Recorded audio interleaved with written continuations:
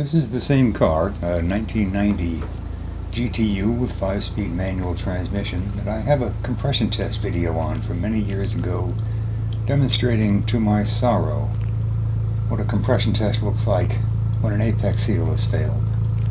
I ended up putting a new engine in it. Well, I didn't do it, that's beyond my skill set. And at the time it was my daily driver and I needed it back on the road as quickly as possible. Was painful to spend the money, but my alternative was to have something that was worth nothing.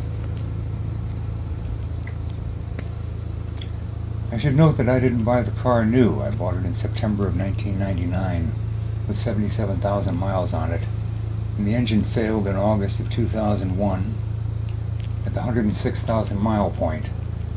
The replacement engine was new, an actual new, not rebuilt engine from Mazda. Upon the advice of the folks who did the engine swap, I now put 4 ounces of two-stroke oil into the gas tank with each fill-up. They claimed at the time it would make a repeat of the apex seal failure very unlikely. So far that's true. Never expected to keep it that long, but I still like the car, so why not? Here's a quick shot of the dash with the bracket that I 3D printed. It would hold my phone in place to do the recording.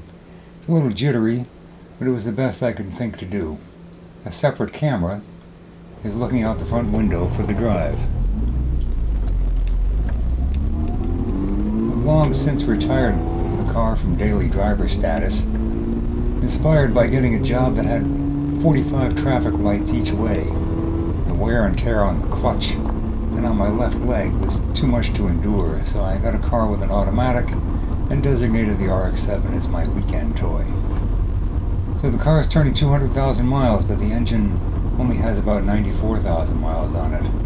The rest of the car, though, transmission, differential, everything in the front end, even the exhaust system, is still original. There are maintenance, of course, a couple of alternators, a couple of batteries, probably not a coincidence, a couple of clutch master cylinders and one clutch slave cylinder. Uh, just recently, I did the brake master cylinder. Also, at about 175,000 miles, the original drive shaft had a failing U-joint, so I replaced it with one that had uh, grease fittings. The original drive shafts lack those.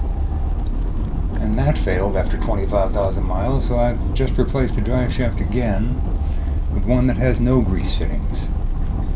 Maybe I wasn't diligent enough in lubricating the first replacement, but 25,000 seems like a premature failure to me. I've also done an R12 to R134 conversion after the AC compressor failed on me. The compressor itself was fine, but the magnetic clutch shorted, blowing fuses, and it was easier just to replace the whole compressor and do the R134 conversion. Much to my surprise, the AC works just as well as it did with R12. And then we just turned 200,000. There were some bolts and bushings that turned to mush in the shift linkage. So I replaced parts as necessary to get it shifting well again. Other than that, it's just been routine maintenance. I've just put a set of tires on the car. And when I say I've put a set on, I mean that I got one of those manual tire changers from Harbor Freight and did the job myself with tires from Tire Rack.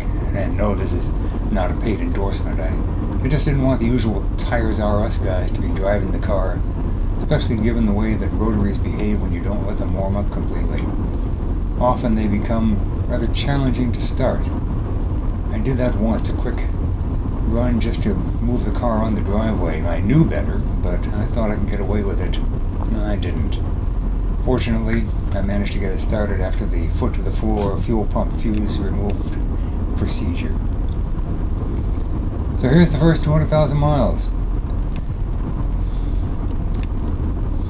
A 31, well, essentially 32 year old car. I don't remember the last time I saw another one on the road. But as long as they keep selling gasoline, Lord willing, this one will be.